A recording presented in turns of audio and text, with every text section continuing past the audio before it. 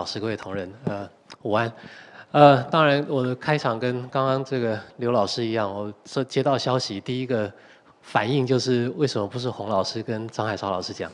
然后刘伯宏就说，就是他们两个叫我们两个讲的。所以，嗯，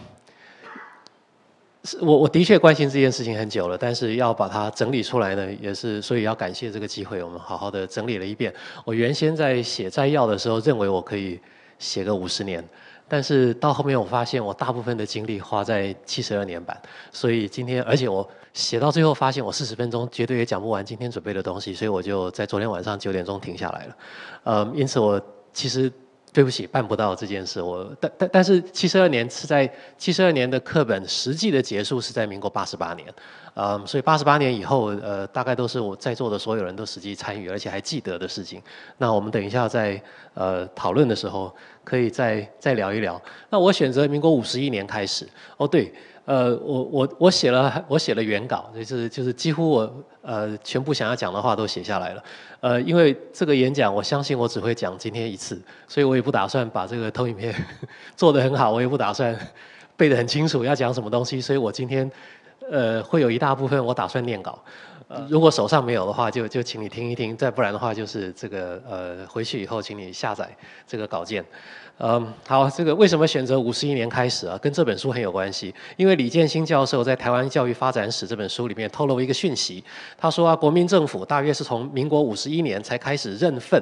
要留在台湾。所以他开始了政治跟军事以外的治理，可以说台湾的大环境大约从民国四十五年才开始稳定，而国民政府呢，汲从汲取台湾资源而准备反攻，到认真开的看待台湾的内政，包括教育在内的一个分水岭呢，是民国五十一年。那此外呢，是我们还有一些证据，哦，这在一百五十二页的时候，李建新老师又写呢，自民国五十一年起，积极从事内政改革，称为宁静革命。那在我们的呃这个教育上面呢，我看到两件事情也支持五十一年当做一个分水岭。第一就是当我们到国立编译馆里面，以前的国立编译馆的那个图书室里面去找教科书的时候，我发现至少高中这一部分是五十一年开始才有收藏的。第二件事呢，是在我国的体制里面本来就有所谓的全国教育会议，只是并没有规定什么时候要开会。前三次的会议依序发生在民国十七年、十九年跟二十八年。后来发生什么事，大家都知道，所以第四次会议恰好就是民国五十一年，所以看起来呢，李建新教授呢是说法是有道理的。那我们能够找到最早的书呢，这高中课本呢，就从五十一年开始。我认为那个时候是无纲多本，事实上是有纲的，呃，有标准的。民国五十一年七月，教育部发布了一份修正公布中学课程标准的文件。可是呢，那个标准文、那个课程标准的文件跟今天的课纲比起来，实在是差得太远。它大概只有三页，就就非常粗略的呃讲过去，所以可以说是呃就是无纲多本，有很多很多的出版社，包括有什么开明、复兴、正宗这些书局。而教科书的作者呢，也有是一个有趣的事情，几乎全部都是撤退过来的大陆的年轻人，呃，而且。当在他们写教科书的时候，某几位老师后来到了大学去教书去教书，但是当他们在写教科书的时候，都是高中的老师。呃，像这一位彭老师呢，是竹中的，是新志明校长从湖南请来的一位一位一位老师。那后来还看到呃，反反正反正传统的几个高中，呃，一中呃台中一中、建中、呃新竹中学、台南中学都有老师写了课本。嗯，那么所以呢？呃，当时的一个特征就是一纲无纲多本。那因为基本上没有纲要，所以那个课本与课本之间的差距是非常大的。我们今天所谓的一纲多本，从民国八十四年左右开始推行这件事情，我相信那个理想是像这样的，就是各家课本呢应该要表现出来每一个作者的风格，然后每一个作者注重的东西可以。呃，在相当的程度上可以容许不同。那么我们在五十三年以前的课本看到这个状况，但是呃，反而比今天的一纲多本呢要要分歧的多。今天的一纲多本其实太相近了，这是我们觉得呃，就是回顾一下，我们觉得该就今天的我们该要反省的事情。当时还有一个特色呢，是单科成册，就是一本书就是一个名字，那里面就是一个主题。比如说刚才大家看到的这一本就是平面三角学，这是高一的课本，这是高一的课本。那这一边看到的呢是呃哦对不起，这是稍微后面一点了。这个反正这是自然组高三的课本，高中的解析几何。这一位霍树南老师是带着他是山东一所中学的校长。啊，我们可能知道山东有一一群一群的呃流亡学生，经过澎湖到台湾，很多人读了园林实验中学。那他是带的三百多个学生到台湾的其中一位校长。后来他好像陆续在台中一中、中兴大学呃都教过书。我在黄武雄老师的回忆录里面看到这位老师的名字。啊，那个时候的，就是单科成册的这个习惯，显然一直延续到今天，就是名为块状的主题结构，就是今天我们的高中课本就是一大块一大块一大块的。那这个这个习惯，可可以，我觉得是非常明显，就是从那个时代延续到今天的。那么为什么？呃，就是。我们有一个有有一个相对的说法，跟这个凝成块状的课程结构，另外一个说法叫螺旋式。我个人认为凝成块状还可以用另外一个方式来看，就是它比较像 chapter，就是一章一章的，然后这一章就是一个很大的内容跟主题。那么看看小学课本，通常不是 chapter by chapter，是 lesson by lesson，第一课、第二课、第三课，然后每一课都短一点，然后这个课与课之间没有，呃，就不会。不会说凝聚在同一个主题上一直发展，可能会持续着慢慢的把许多的主题一一样一样的拿进来。说数学也许还我觉得不容易想象，大家回想一下，我们刚开始学英文的英文课本。大概就是那个意思，就是你英文课本一开始的时候，不可能说我今天全部讲名词，然后下一个星期我们全部讲动词，然后再下个星期我们我们讲过去式，不可能这样做的。我们要有先先获得了足够多的基本知识，将来才能够一块一块的学东西。所以呢，小学课本常常是一课一课的发展，但是到了大学，很明显的是一册一册或者一章一章的发展，一个个 chapter 的发展。可是那放在中间的国中跟高中呢，这中间一定会有一个从淡水到到咸水的一个过渡的过程。嗯，呃，为为什么这个过渡的过程会到今天都还这么的困难？我我认为这是呃，我我们大家可以一起多想想的事情。嗯，五十三年就应该要有一个分离了。对不起啊，我我的投影片这里没做好。这中间呢，在 我想要再再再说一件事。我等一下想要深入几个我关心的主题，呃，进入那几个深入那几个主题来，呃，利用那个主题看看我们这个课程的演变。这里我要说的第一个主题是代数基本定理。代数基本定理在当时大概都放在高二，高二的那个代数高中代数的那一册里面。各个版本都会有一章叫做方程式论，而方程式论里面又一定会有代数基本定理。至于这个定理的证明呢的说明呢，通常都会说高斯证明了它，但是呢，几乎每一本书都用一样的话来说怎么证明，因为超出本书的范围，所以重略。那各家版本对这个证明的叙述大概也都一样，一定会先说存在一个。复数根，然后呢，这那个证明从那个证明从略，然后就会正经八百的证明一定会有 n 个复数根，每一本都是这样写的。那么，因为五十一年以前的课程已经不可考了，所以我就认为，反正代数基本定理就是有史以来 就在我们的课程里面。这个这个定理从有史以来。就是不可证明的，就是超出了我们的范围的。既然它一直是超出我们的知识范围的，但是为什么就一直放在我们的课本里面呢？呃，就是大家就一直这样说说说说到了今天。那这是我觉得是很很值得 去去再想一想的。可是这个定理有没有用？在高中里面？我个人认为是找不到理由来支持它。究竟有什么后续的课程是需要用到这个理论的？其实是没有。但是呢，大部分的理工的学生进入自然科系以后，在高大一或到大三之间，总会碰到一个方阵有 n 个复数的特征值的这个定理。那通常线性代数里面不会再说代数基本定理了，他们就会直接引述这么一个大理论，然后就说一定一共会有 n 个。所以如果拿这个高中数学为了大学的这个基础作为一个准备的教育来看的话，那么代数基本定理好像还是有一点点道理可以放在呃课程里面的。好了，我我的讨论就先到这里为止。五十三年呢，开始了一个新的状态，就是呢，啊，民国五十三年三月二十九号，我不知道那天为什么，呃，需要上班。总之，有那个文件的日期是打在这一天的。五十三年的三月二十九号，教育部针对数理科目，只有数理科目，颁布了高级中学数学教材大纲和高级中学生物化学物理教材编辑大纲。于是就有新的自然科学跟数学的课本发生了，跟过去极大不一样的事情就是开始用学期一册一册的编，然后里面第一章、第二章、第三章这么排下来。可是啊，习惯入人之深嘛，虽然是这样，各位看范传波教授的这一个呃复兴版，他的高中数学的第一册底下还特别打一个括号，说几何学，呃，就是他就是延续着过去的的习惯。一册里面就是应该是一个主题，好，还是沿着这个习惯来看。但是呢，嗯，这个教材特点呢，就是它是虽然还是虽然是一册一册，然后一张一张的编，但是它呃还是维持着这个单科成册的一个传统。但是啊，我等一下会看到一个细节，呃，还有一个在每一本书的有一些书很夸张的，在它的封面上就说它是。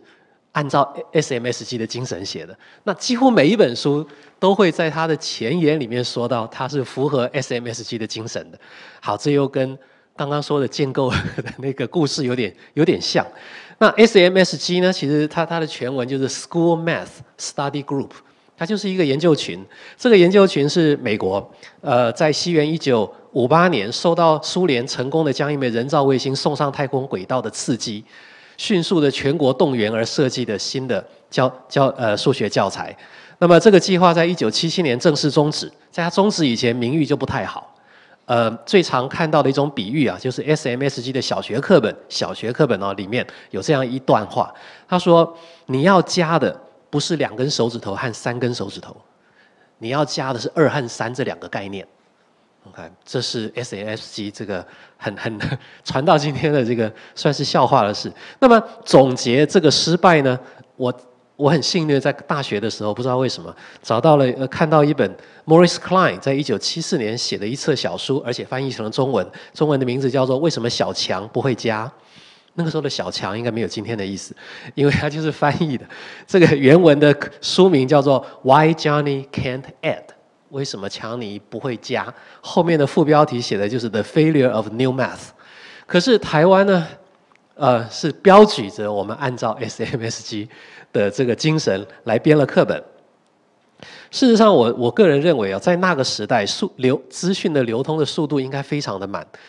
我觉得虽然大家都这么说，但实际受到的影响是少的。那比如说王文思老师的大中书局的第一册。刚刚看到嘛，那个呃范教授说第一册就是几何学。您看到这个内容呢，其实跟过去的高一的那个平面几何，呃，其实是内容差不多，它还是就是几何，或者是最多可以说是解析几何，呃。基本上就是平面几何，你就是还是几何。哎，对不起，我要收回刚刚那句话，基本上是几何。我要加的一句话是在民国六十年以前，只要说几何，就是在教几何的时候，是平面跟立体基本上不分的。这是我个人非常呃支持的一件事，因为平面这件事情很严格的说，其实是在生活中不存在的。所有我们说的平面的事，都是为了处理空间的问题化简之后的一个处理的过程。那我们。从七六十年以来，民国六十年版本以来，渐渐的把平面几何从国中开始，越来越限缩在纯粹的平面几何，使得高中二年级突然一下空间几何出现的时候，反而变得很突兀。虽然每一个人都生活在这个空间里，但是好像觉得空间很难，空间很抽象。这是奇怪的事情，因为。照理说应该平面才抽象，因为那是我们想出来的事，它不是我们真正生活的的世界。当我在看英国跟德国的教材的时候，发现一个很大不一样的事：当他们讲平面几何的时候，每一章、每一节、每一份习题都有空间中的例子。它那个空间中的例子，只不过就是在空间中布了一个平面几何的题目。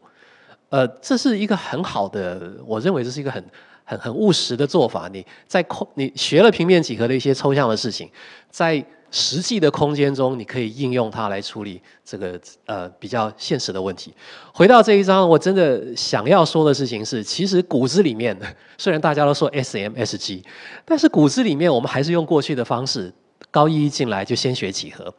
但是呢，为了要反映 S M S G，所以就加了集合 这一章在最前面，以前没有，五十一年到五十三年之间的。应该说到五十五年之间的那一段的课本不会特别强调集合跟逻辑，但是五十三年以后的课本呢，大概第一章都要说都要说集合。那么，嗯，这个五十六年审定出版的这个正宗书局的第四册呢，这里想要表现的是从那个时代开始啊。呃，也是从书上我才知道的，早就分了自然组跟社会组，所以课本就有自然组的课本跟社会组的课本。可是自然组跟社会组的课本并没有按照这两组的学生的性向跟他未来的可能的发展做。我我这样说也许是有点错，但是我的观察是没有任何的改变，没有任何的为他们特殊的设计，就是让社会组的课本薄一点、少一点，呃，然后东西也许慢一点。所以我们看这个第四册。从头到这里到第八节，通通都是自然组跟社会组是一样的。第四册，那第四册的自然组多了后面这两项，那不要以为社会组没有，它在第五册。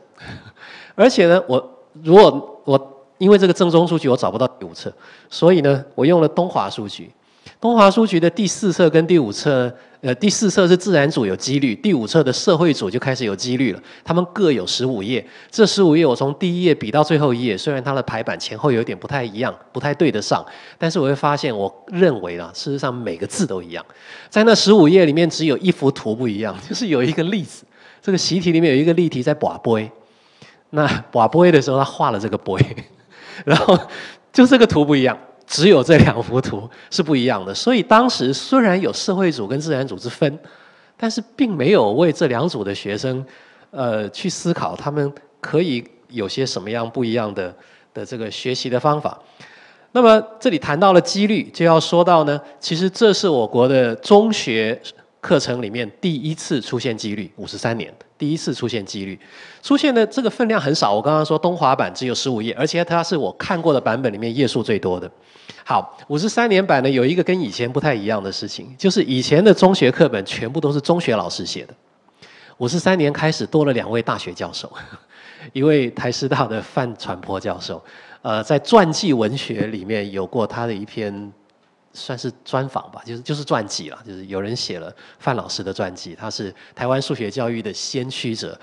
嗯，那第二个版本呢，另外一个大学教授写的版本就是东华版，是李新明校长写的。李新明校长，我称为校长，因为他是我们中央大学的台湾副校的第一位校长，我们呃跟我们很有关系的人。那嗯，所以我这边举的是这个李校长的东华版，从。当时的这个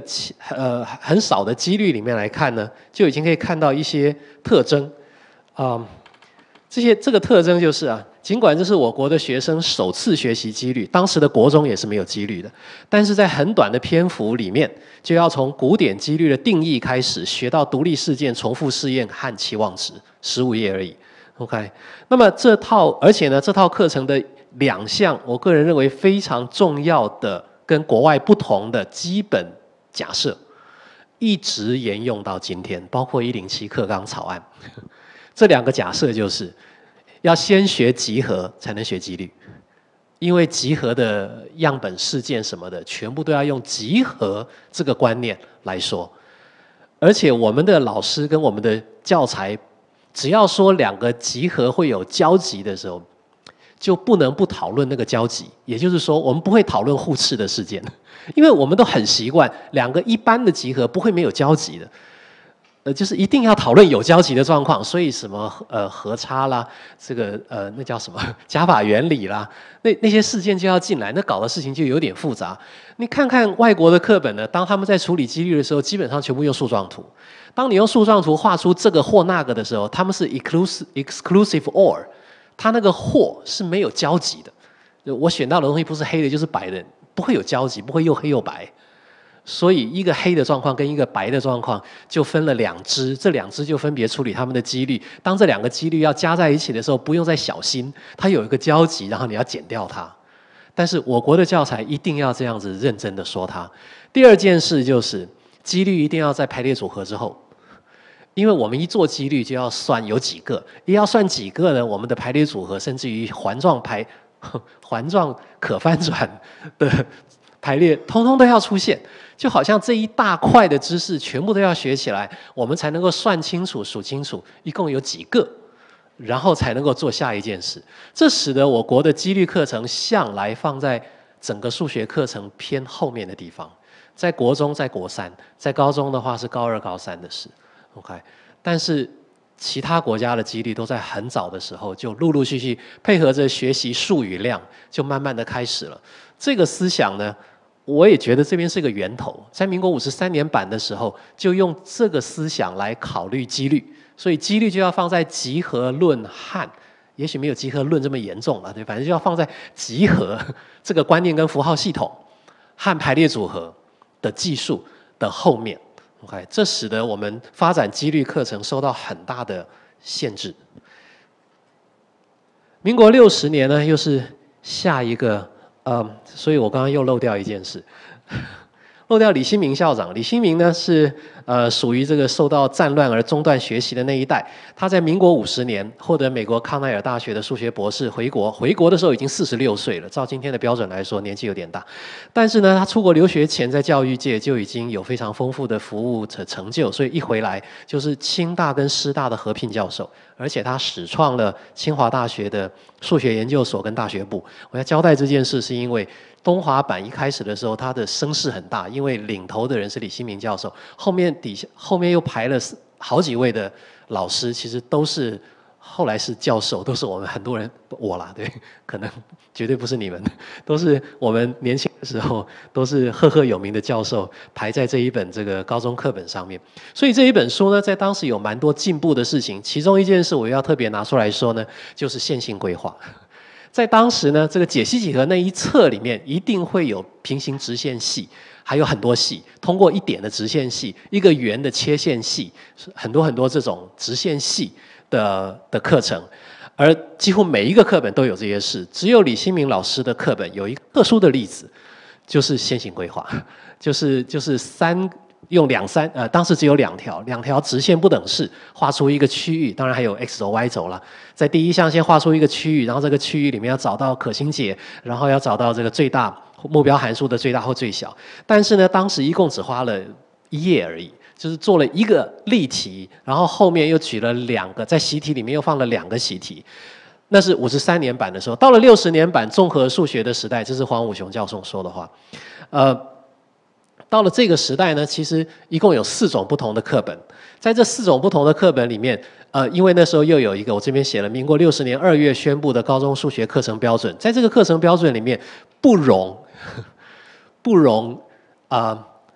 二元一次联立不等式出现，因为没有一个地方可以让它出来，所以呢，李新明教授的前面那个版本的线性规划就没有地方可以摆进来了。本来它应该就也许就可以消失了，但是因为第六册每一本书的第六册大概都只有三四十页是真正在讲第六册，就是高三下学期的内容，跟我们今天很像。后面有一大堆的页数，少则三十页，是黄敏晃教授写的最少，多呢就是范。范传波教授写的最多，他有一百八十页，全部都是总复习。那么李新民，呃不呃对，李新民教授就在他的第六册的总复习里面，偷偷的，也不是偷偷了，反正就是他还是塞进去了线性规划的那一道例题跟过去的两个习题。所以线性规划就是这样子的状况被塞进了我们的课程里面，然后一直流过了六零年代，一直是小小的一个主题。可是，等一下我们讲到七十二年版的国编版的时候，它突然变成一整一整个节，一大章里面的一大节，而且那一节的篇幅分量是整本书里面最厚的一节，这是一个很奇怪的改变。呃，就是过去也许是一个很特殊的小例子，而且还蛮有趣的一个小例子，但是七十二年版以后，线性规划就变成一个。一个大的主题了，而那个主题就再也没有消失了，就一直延续到今天我们所有呃阶段的这个高中课程就一直在里面。啊，到了六十年版呢，也许你可以说它是 SMSG 的一个反扑。所以呢，您看到我们这刚刚说一共有四个版本，数理图书公司出了两个版，范传波教授的跟黄敏晃教授，一个师大版，一个台大版，然后东华版就是清大版，然后实验版其实还是台大版，是呃洪雄教授的实验版。这四个版本的第一章或第零章，你看到这是好像我们有史以来，在他之前，在他的后，空前绝后，没有这么 friendly 的一个一个标题。对，怎样学习数学？什么是数学？黄敏华教授在那个时候就写了，是一种语言，所以这是我找到最早的一个说法。呃，东华版呢，这是警告读读者怎样学习，呃，为什么要学习呃数学？但是事实上，你这这是一个表面啊，就是说他看起来好像要谆谆善诱的跟学生博感情，你要喜欢数学，你要需要数学，但事实上，你看它的内容其实没有那么容易。不但是事实上，不但是保留了集合那个主题。逻辑也放进来，而且呢，嗯，而且实数的完备性、数列的极限，呃，我自己是这一代的高中生，通通在高一，所以事实上，他他是，呃，就是他他是他用一个很和蔼可亲的口吻跟你或笔调跟你说话，但事实上那个内容是非常非常的硬，非常非常的硬，嗯。所以这是这是第刚刚看到是第一册，现在看到是第二册。我们在第二册的时候，通通都学到了实数的完备性，学到了极限。但是呢，再回顾一下这两册呢，各位这个大就是左右对照着看一下，你可以看得出来，当时有一个课程纲要在发挥作用了。这是大家的进度差不了太多，但是同时它仍然是保持了每一个作者的风格，至少从附录看得出来是相当的不一样。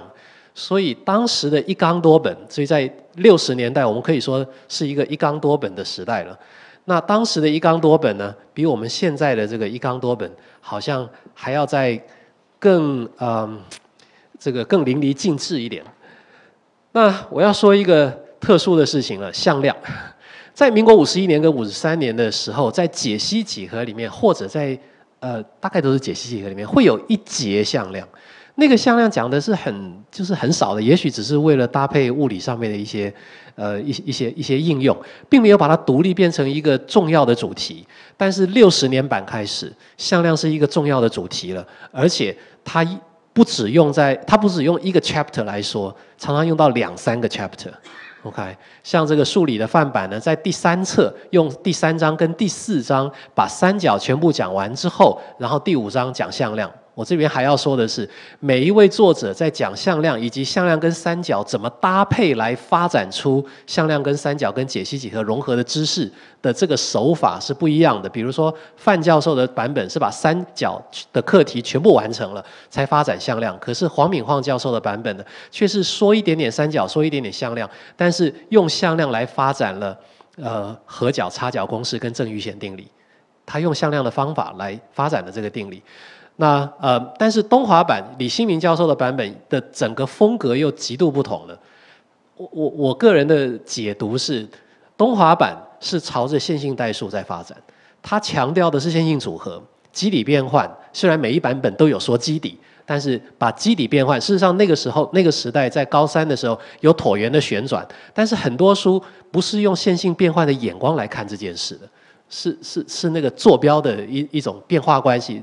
啊，反正就是联立方程式的那个观念来看坐标的变换，但是东华版呢是特别清楚的想要把向量的教学朝着那个呃线性代数去，但是当时的课程标准并没有矩阵，其他三个版本几乎没有提矩阵，每一个版本都说了行列式，但是几乎没有说矩阵。黄敏晃老师的版本呢有说他有一个标题叫行列式相乘。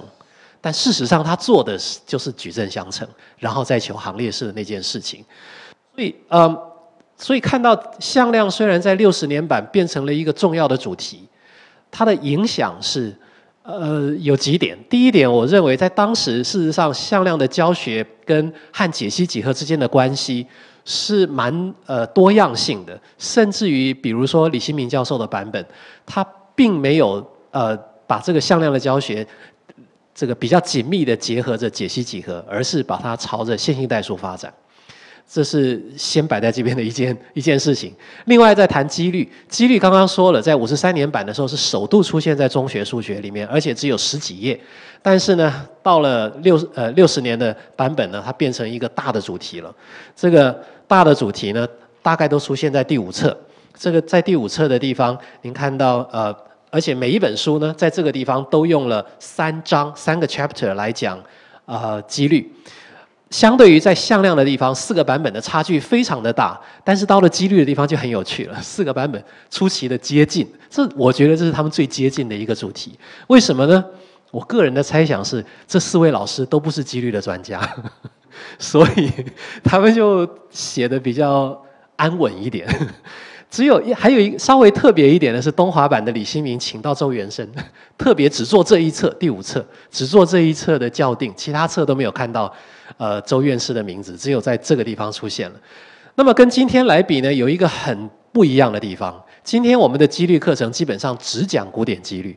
在概念上，其实在一九五八年的西方，呃，特别说美国、英国吧，在讲这个几率的心理学或者是认知心理学跟这个教学的时候，都至少把几率分成四类，其中一类叫形式几率，我们就不要管它，那是纯数学。其他三类呢，分别叫做主观几率、频率几率跟嗯，古典几率或者叫理论几率，当然只有理论几率，就是古典几率可以发展数学理论出来。主观几率就是你猜嘛，对，就凭着经验说嘛。但是大家都知道，一个有教育的人猜跟一个乱猜是很不一样，对不对？比如说碰到物理的问题的时候，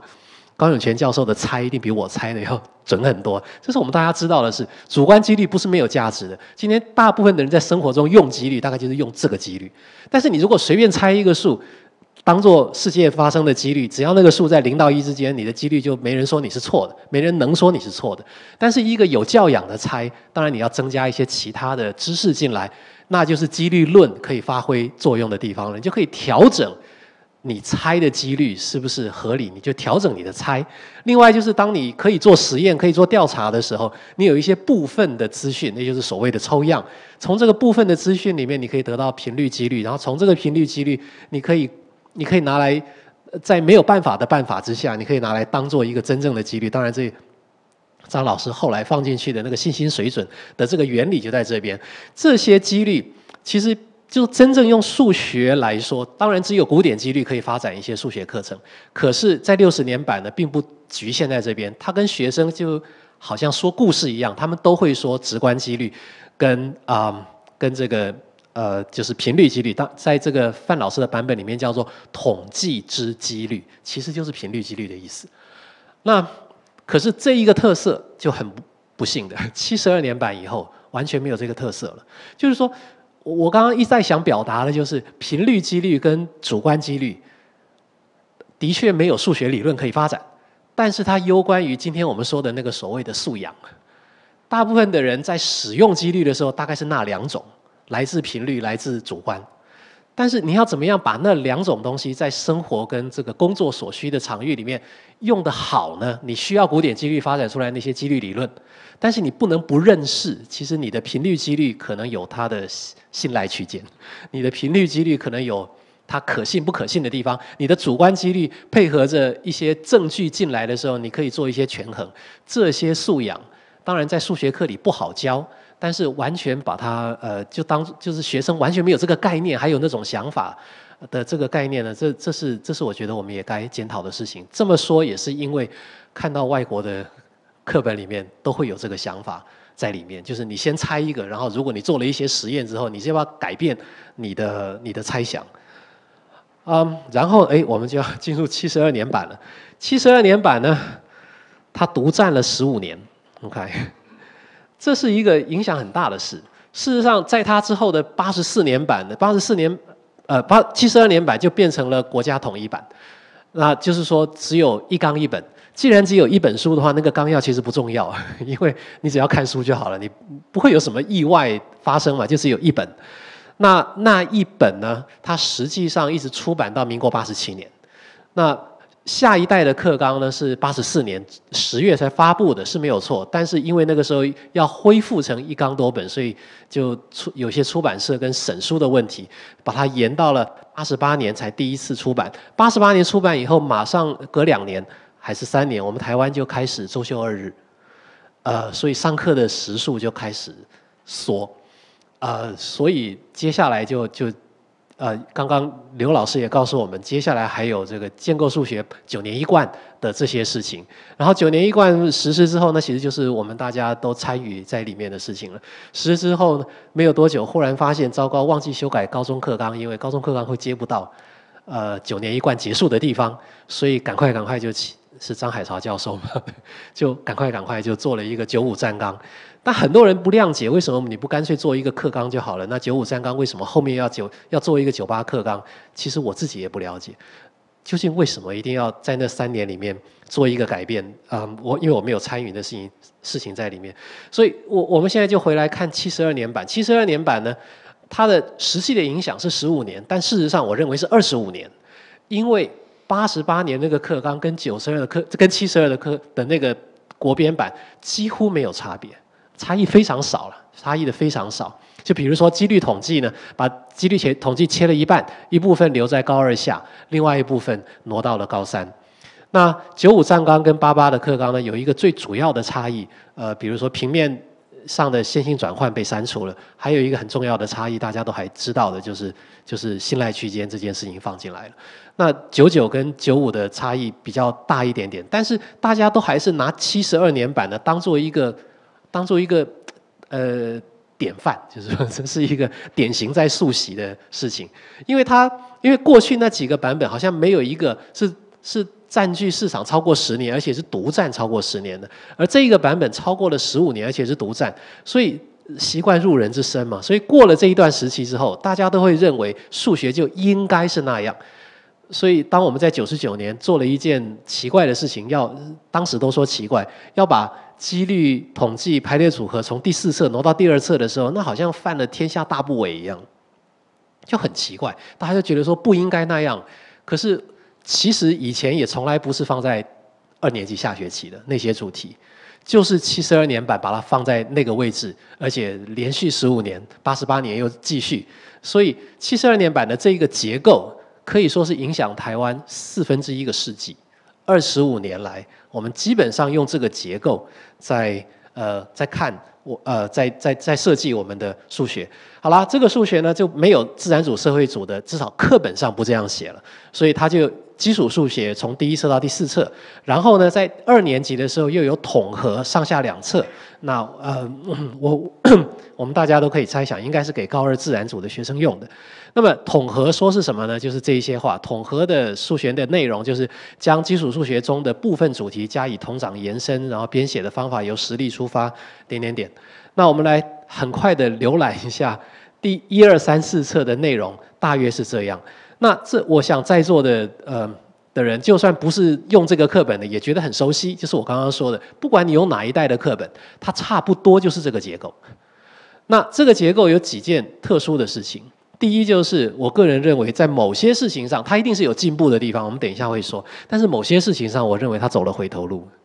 就是啊，它更宁为块状了，它更用数学的逻辑来。编还有，它更注重教学的效率，教的效率，而不是学的这个认知的发展。哪些事情让我这么这么认为呢？第一，复数在过去向来在高二以后，在方程式论，在高二下学期或者是高三，复数向来在后面。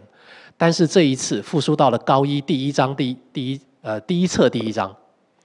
因为这个就数学家的眼光来看。我们这一代的人大概都读了那本书，Rudin 的 Real and Complex Analysis。你把实变跟复变写在一起，是个很酷的事情，是个很高干的事情。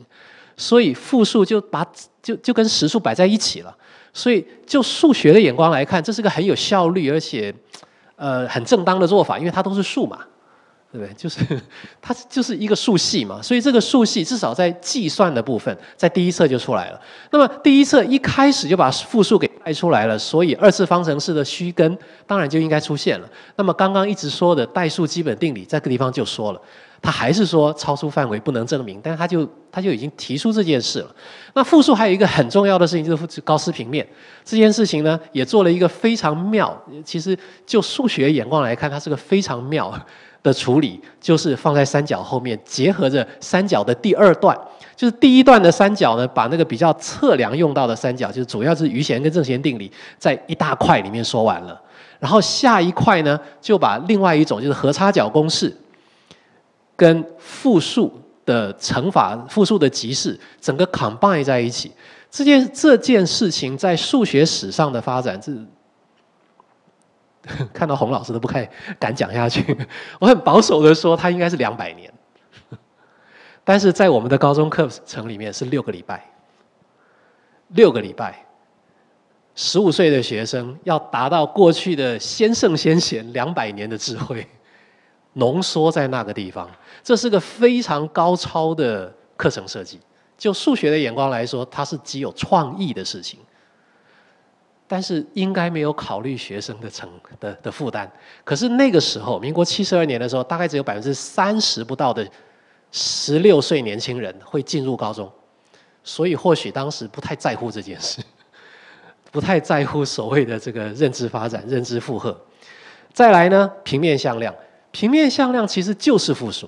事实上它还是删减了一些的复数。如果我们把复数的级式跟复数的标准式，就是 a 加 bi 的形式跟 r i 西塔的形式的放在一起来对照着看。大家都会发现，两个复数相除之后的结果，你用再把它换成复数的级式，那么向量的内积跟向量的二阶行列式，呃，以及它所代表的外积意义，就是那个那个垂直，对不起，那个平行四边形面积的意义，全都在复数的级式跟标准式之间就看到了。所以，其实平面向量在数学发展史上面是不存在的，因为复数就把它盖掉了。可是呢，这里非常有创意的，就是讲完了一个很厉害的高斯平面之后，平面向量跟着出来。如果复数平面学的相当到位，这个学生看到平面向量应该是是 piece of cake，对，他就应该非常非常厉害了，因为内积跟行列式跟他们的几何意义全部都在复数平面上面全部都了解了，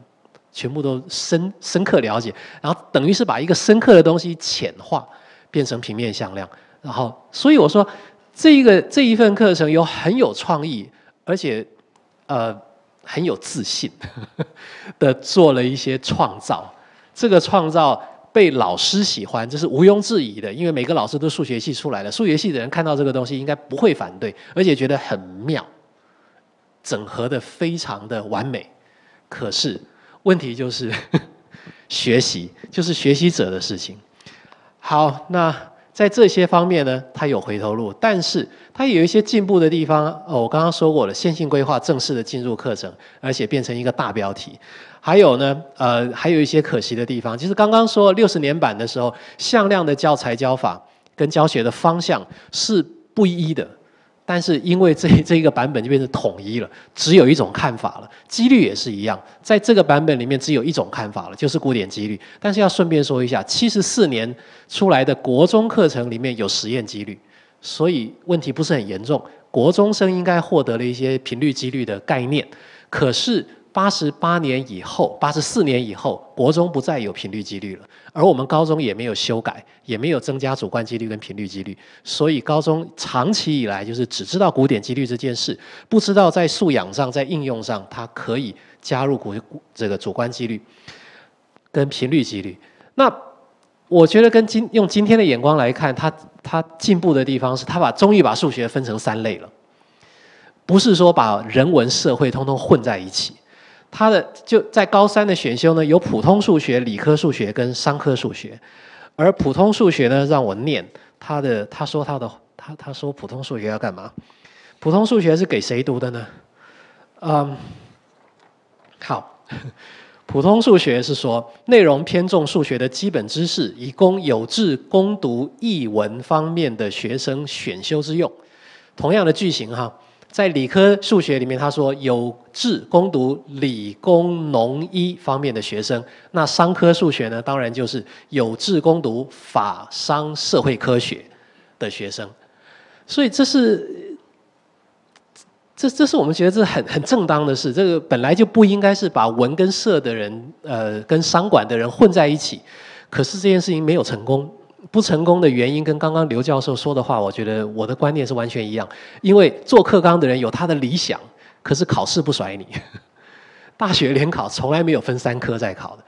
从来没有分三个轨道来评量学生的，所以呢，这个学生被迫就是你，你不能在高二的时候你就选我就是读人类学，我我我就将来我就是要读哲学、读人类学，我不需要什么什么样子的数学工具。你你就算这样做了决定，但是升学的管道没有那一条管道给你做。嗯，那这一这个版本还有一个特殊的事情是转移矩阵。我讲完这个故事，因为我特别喜欢这个故事。啊，矩阵第一次正式的进入。课程就是七十二年版，那但是当时的矩阵并没有线性组合的想法，当时的矩阵就把它当一种代数来看，那是一种很特别的没有交换率的乘法的那种代数，没有也没有消去率的，好，但是在二之一一直到二之五，全部都在讲这个用代数的眼光来看矩阵，到了二之六，突然有一节叫做矩阵的应用，矩阵的应用说了甲乙丙丁四种应用。四种应用，我觉得都非常可怕的难。其中以这一种应用叫马可夫链，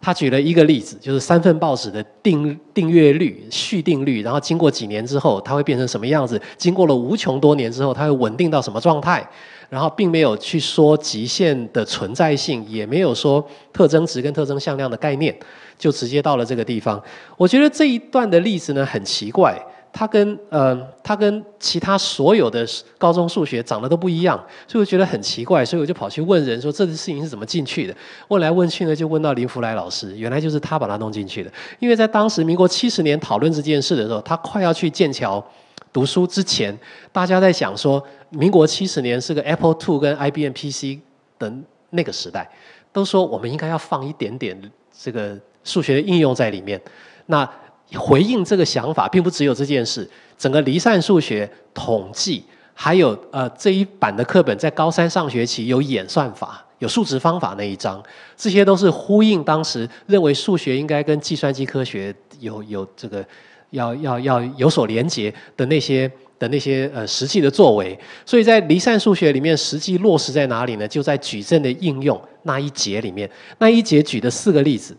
是林福来老师在民国七十年的时候建议的。他为什么建议呢？因为他在复旦大学留学，在美国的复旦大学留学的时候，做 TA 的时候，当过这本，当过这门课的助的，不是助教，那那时候的助是 TA，但是就是就是教一门课了。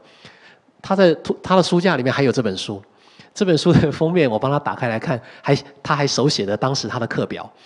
呃，很有意思的就是，其实就是这本 Thomas 这本书里面有那几个例子，然后林老师。建议了这个这件事情，然后这个建议就进到课本里面去，而且变成一个非常分量非常可怕的一节。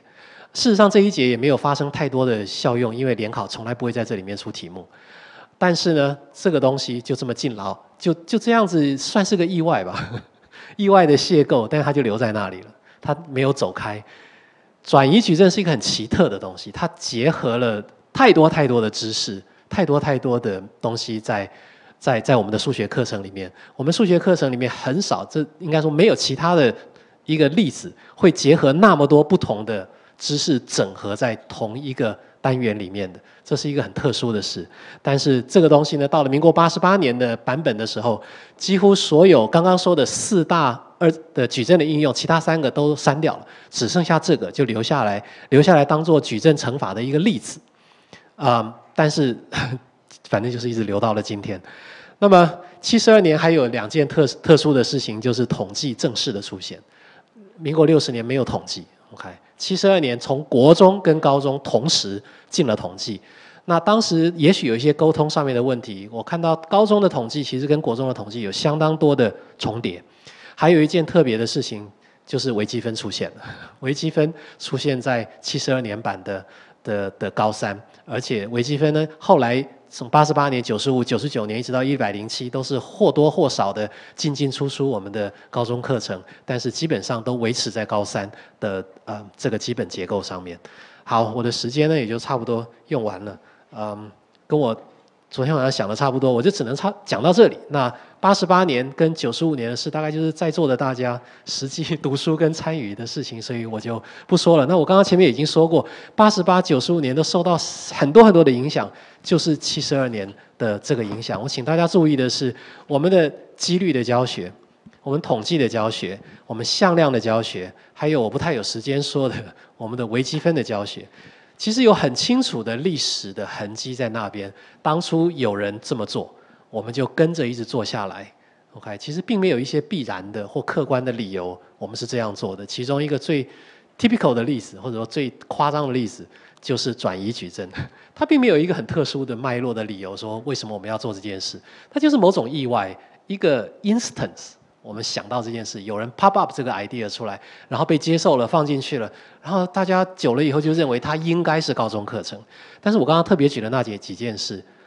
包括代数基本定理、转移矩阵、线性规划，其实都是我国特有的课题，其他国家的数学课程里面是没有的。好，到这里，谢谢。OK，谢谢，呃，谢谢谢他们两位精辟的演讲。